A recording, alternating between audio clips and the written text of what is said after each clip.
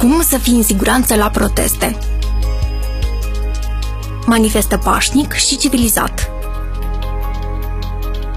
Dacă ești însoțit de copii, supraveghează-i cu atenție și nu stați în locuri foarte aglomerate. Îndepărtează-te de persoanele, grupurile violente, ori care instigă la violență. Nu încerca să-i oprești tu pe cei agresivi. Îndepărtează-te de zona de contact dintre polițiști și turbulenți. Colaborează cu polițiștii. Fii atent la informațiile comunicate de aceștia. Legitimează-te dacă ți se solicită. Semnalează către ei persoanele violente sau situațiile cu potențial periculos.